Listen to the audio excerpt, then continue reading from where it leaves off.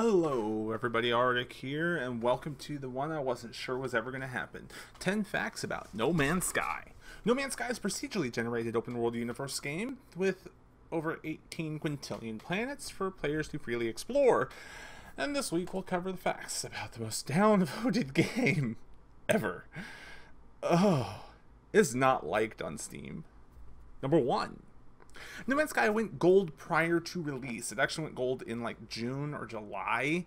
It's and was the fifth highest downloaded game on the PlayStation 4 the first week of release. Number two, a Reddit user purchased the PS4 version of the game for $1,250 two weeks before release and shared every, you know, he did it so he could do a spoiler free play just you know no one was going to be in his way. And he did share a lot of the stuff but it got dmca'd and stuff. A lot of it got dmca'd and taken down by sony prior to release just to kind of keep the waters clean. Number three, the game kind of felt doomed from the start, from being from the office being hit by a flood and losing a lot of work, to being sued for the use of Sky in their name, to almost being sued with um, issues over the algorithm they were using, and then also they've been hit by the ADA, the um, advertising basically advertising bureau for false advertisement. They're being investigated now.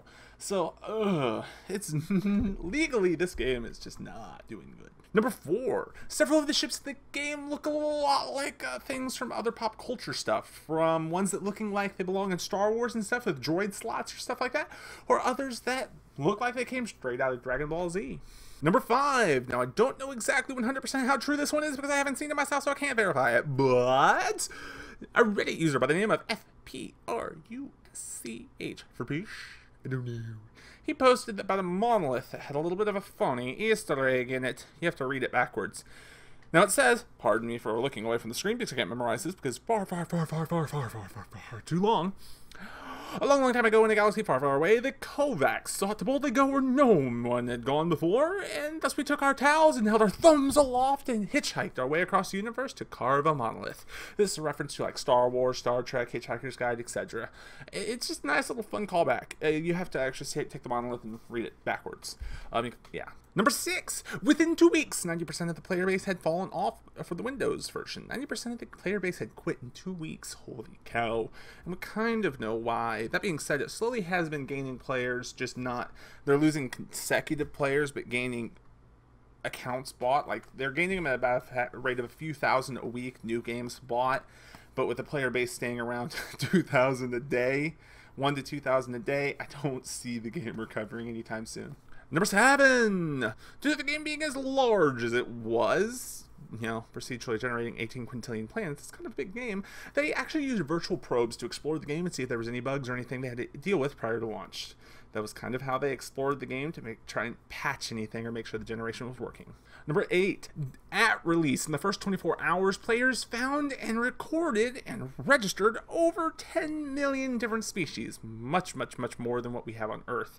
Um, and they had more than 212,000 active players on Steam. That's not counting PlayStation, just Steam. Number nine, nobody really got review copies early due to the fact that they had a day one patch. They were, thought we're going to patch everything up and fix everything.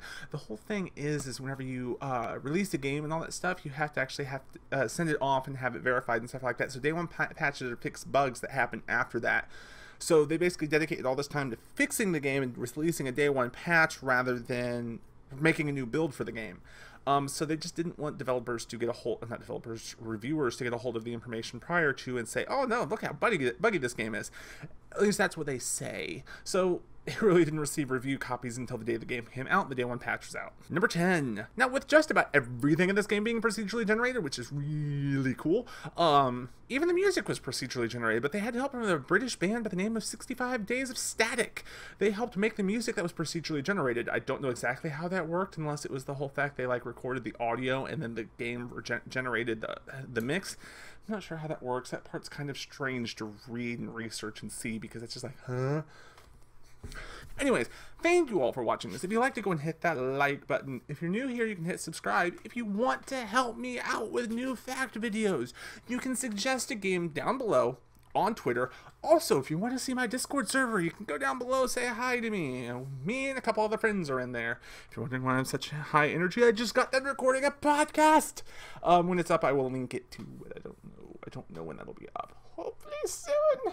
Anyways, as always, you guys have fun. I will see you later. Bye, guys. Ah.